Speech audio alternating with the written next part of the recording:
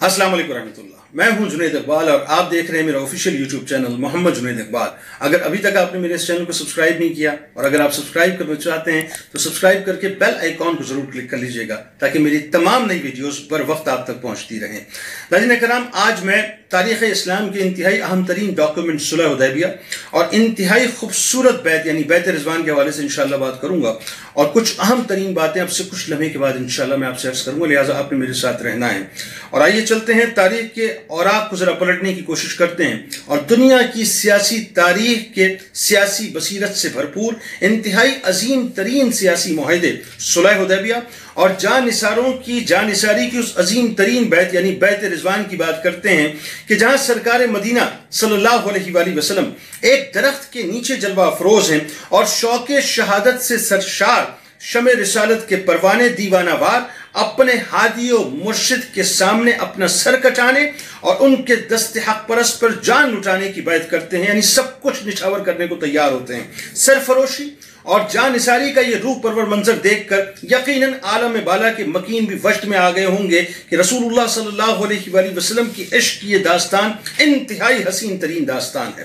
اب وہ یہ ناظرین کہ ذوالقادہ چھ ہجری کو تاریخ اسلام نے ایک نیا اور انتہائی اہم ترین موڑ لیا۔ ایک ایسا موڑ جس نے اسلام کے لیے فتح کے نئے دروازے کھول دیے۔ ایک ایسا موڑ جس نے اسلام کی ترویج و اشاعت میں انتہائی مؤثر ترین کردار ادا کیا۔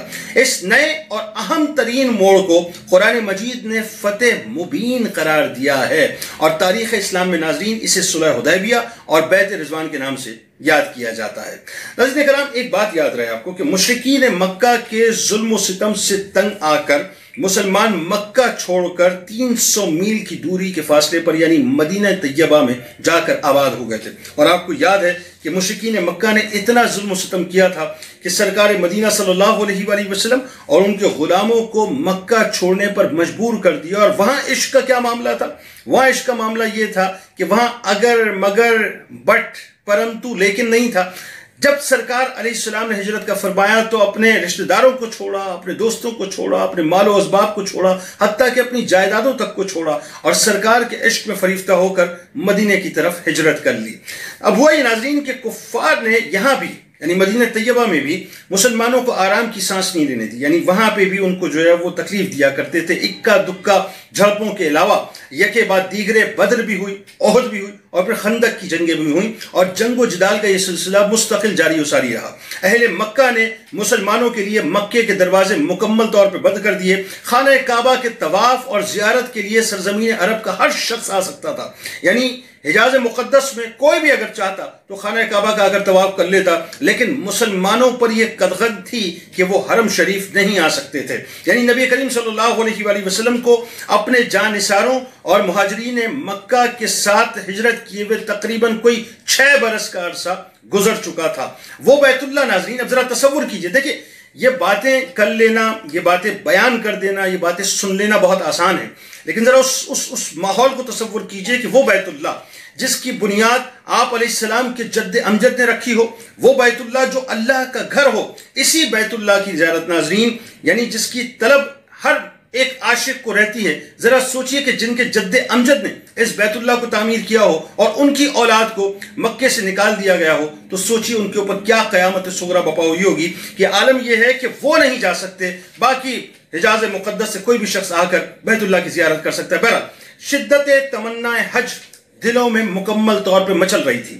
رسول اللہ صلی اللہ علیہ وآلہ وسلم بھی اسی تمنا کو لیے اللہ کے حکم کے منتظر تھے، لہٰذا ٹھیک ایک سال کے بعد دو جہانوں کے مالک مختار نے ایک روز خواب میں دیکھا یعنی پانچ ہجری کو غزوہ خندق ہوتی ہے اور چھ ہجری کا یہ معاملہ ہے ناظرین کہ آپ نے خواب میں دیکھا کہ آپ صلی اللہ علیہ وآلہ وسلم نے صحابہ کرام رضوان اللہ تعالیٰ علیہ مجمعین کی مائیت میں بیت اللہ کا قصد کیا اور امن و سلامتی کے ساتھ اس میں داخل ہوئے اور عمرہ ادا کیا۔ پھر چشم فلک نے وہ منظر بھی دیکھا کہ مصطفی کہکشاں کے کم و بیش چودہ سو ستارے، چودہ سو ستارے کائنات کے چاند کو اپنے جلاؤ میں، اپنے پروٹوکول میں مکے لے کر چلے ہیں۔ یعنی سوچی ناظرین، وہ کتنا حسین منظر ہوگا کہ چودہ سو ستارے رسول اللہ صلی اللہ علیہ وآلہ وسلم کو جو کائنات کے چاند ہیں، ان کو مکمل طور پر کارڈن آف کیے ہوئے تھے۔ اور اس سال قریشیوں کی ہٹ دھرمی کی وجہ سے ناظرین، مسلمان عمرہ تو نہ کر سکے، مگر مقام حدیبیہ پہ جا کر ٹھہرے۔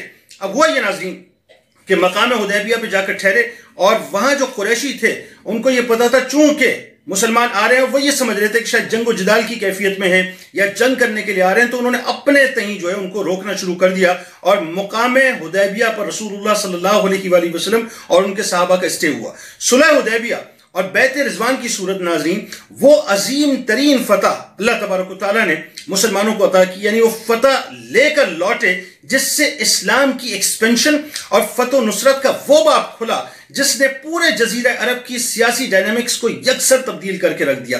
یہ صلح اسلام اور ہادی اسلام کے مشن کی تکمیل کے لیے اور امت مسلمہ کے لیے ایک عظیم الشان فتح بن کر ثابت ہوئی۔ ناظرین، کفار نے ان شرائط کو مان کر گویا یعنی جو شرائط اس وقت ڈسکس ہو رہی تھیں، جس میں ایک شرط یہ تھی کہ دس سال تک کا یہ امن کا معاہدہ ہوگا۔ اگر کوئی مکے سے مدینے آ جاتا ہے تو مدینے والے اسے لوٹا دیں گے، لیکن اگر کوئی مدینے سے مکے آ جاتا ہے تو قریشی اس کو نہیں لوٹائیں گے۔ بلا بلا اس طرح کی بہت سی باتیں ان شرائط میں موجود تھی برا ان شرائط کو مان کر گویا مسلمانوں کی ایک تو آزاد حیثیت کو تسلیم کر لیا تھا۔ یعنی انہوں نے اس بات کو تسلیم کر لیا تھا کہ مسلمان بھی طاقت ہیں مسلمان بھی ایک قوت ہے اور مسلمان باقاعدہ ایک طاقت کی حیثیت رکھتے ہیں۔ مکہ اور مدینہ کے درمیان ناظرین، حالت جنگ کی کیفیت اختتام پذیر ہوئی اور تبلیغ اسلام کا کام اس زور و شور سے شروع ہوا اور ایسی ایسی کامیابیاں نصیب ہوئی ہیں کہ گزشتہ انیس برسوں کی جد و جہد ایک طرف اور صلح کے بعد دو سال کے نتائج ایک طرف تھے۔ قبائل کے قبائل فوج در فوج مدینے کا رخ کرنے لگے۔ حضور نبی کریم صلی اللہ علیہ وآلہ وسلم کے دست حق پرست پر اسلام قبول کرنے لگے۔ اس سفر میں ناظرین، آپ کو یاد ہے کہ سرکار مدینہ صلی اللہ علیہ وآلہ وسلم کے ساتھ چودہ سو ستارے تھے۔ چودہ سو صحابہ کرام رضوان اللہ تعالیٰ علیہ مجمعین تھے، جو مدینے سے نکل کر ظاہر ہے مکہ عمرے کی غرض سے جا رہے تھے، لیکن حدیبیہ کے مقام پر آ کر اسٹے کیا تھا۔ اور ٹھیک دو سال کے بعد، صرف دو سال کے بعد ناظرین، مکہ فتح ہوا اور پھر چشم فلک نے یہ نظارہ دیکھا کہ ستاروں کی تعداد جہاں چودہ سو تھی، وہاں دس ہزار کے قریب ہو چکی تھی یعنی اتنی بڑی تعداد ہو چکی تھی۔ اب ناظرین، یہاں پر میں ایک جملہ عرض کرنا چاہتا ہوں، وہ ذرا سمجھنے کی بات ہے۔ وہ یہ ہے کہ یہ اللہ تبارک و تعالیٰ نے اپنے محبوب کو اتنی بڑی فتح عطا کی تھی کہ اس وقت صحابہ کرام رضوان اللہ تعالیٰ علیہ مجمعین بھی بہت پریشان تھے۔ کچھ صحابہ بہت اگریسو تھے اور یہ سوچ رہے تھے کہ ہم جھک کر ایگریمنٹ کیوں کریں؟ ہم ریٹریٹ کیوں کریں؟ ہم پیچھے کیوں ہٹیں؟ ہمیں فل فورس کے ساتھ آنا چاہیے۔ لیکن قربان جائیے، نگاہ مصطفیٰ صلی اللہ علیہ وآلہ وسلم پر کہ سرکار مدینہ صلی اللہ علیہ وآلہ وسلم پر اللہ تعالیٰ نے سب کچھ آشکار کر دیا تھا کہ آگے ہونے والا کیا ہے۔ یعنی عشق کی عجیب عجیب داستان ہے نازل۔ ایک طرف تو حضرت عثمان بن عفان رضی اللہ تعالیٰ عنہ جب وہ سفیر اسلام بن کر مکے جاتے ہیں اور قریشیوں سے بات چیت کرتے ہیں، تو آپ کو جب طواف کرنے کی آفر کی جاتی ہے تو آپ اس لیے طواف نہیں کرتے کہ کعبے کا کعبہ یہاں موجود نہیں ہے، تو ان کے بغیر میں کیسے طواف کروں؟ یہ عشق کی بات ہے نازل۔ ایک عشق کی بات یہ ہے کہ جس وقت سہیل بن عمر ایمان نہیں لائے تھے، رضی اللہ تعالیٰ عنہ۔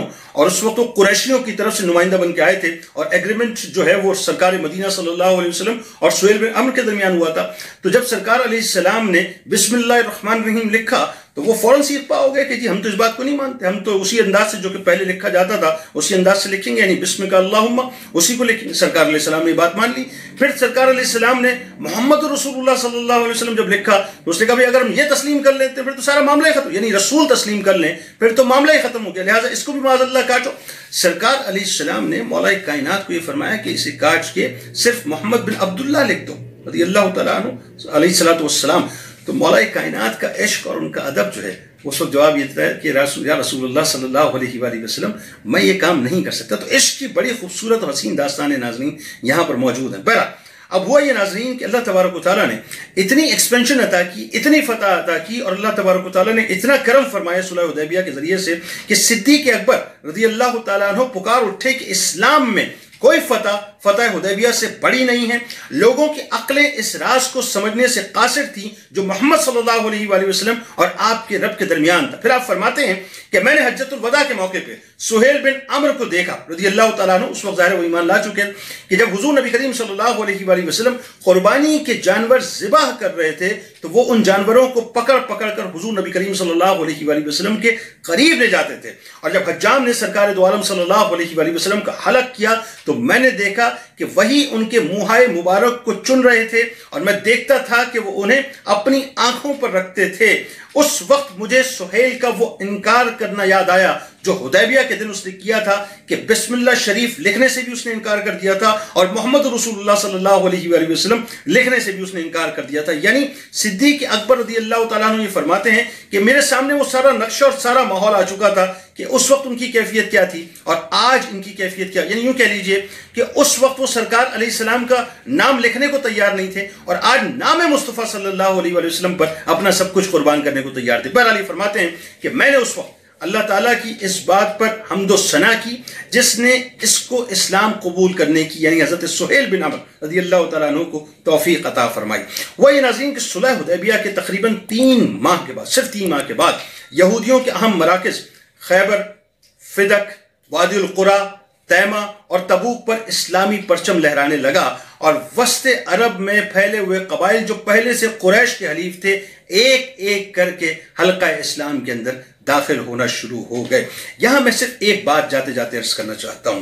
دیکھیں کبھی کبھی ایسا ہوتا ہے کہ آپ کو حکمت کے تحت کچھ کام کرنے پڑتے ہیں جس کے نتائج آپ کو پتہ نہیں ہوتے، لیکن اگر آپ کے بیک پوائنٹ اگر آپ کے آپ کے لاشعور میں، اگر آپ کے تحت الشعور میں یہ بات ہو نا کہ اللہ پر توکل ہے، سرکار علیہ السلام کا عشق سینے میں پیوست ہے۔ اب جو میں بات کرنے جا رہا ہوں، اس میں یقیناً اللہ تعالیٰ ہماری مدد کرے گا۔ تو میرا خیال ہے انفرادی طور پر انفرادی طور پر ایک مسلمان کو اس کے فائدے کا جو ہے اندازہ نہیں ہوتا، لیکن اس کا فائدہ اس کو پہنچتا ہے۔ اور اجتماعی طور پر بھی یقیناً فائدہ پہنچتا ہے۔ میرا خیال ہے آج اس دور میں امت مسلمہ کو اس سمجھنے کی ضرورت ہے کہ کیا وجہ تھی؟ کیا وجہ تھی صاحب؟ کہ وہ معاہدے کرتے تھے اور جیت جایا کرتے تھے اور آج ہم جیت کر بھی مکمل طور پہ ہارے اللہ تبارک و تعالیٰ آپ کا ہمارا، ہم سب کا حامی و ناصر ہو۔ انشاءاللہ زندگی رہی تو اگلی ویڈیو میں پھر ملاقات ہوگی۔ اس دعا، اس امید، اس یقین کے ساتھ اجازت دیں کہ اللہ تعالیٰ آپ کا، ہمارا پاکستان کا امت مسلمہ کا حامی و ناصر ہو۔ اللہ حافظ۔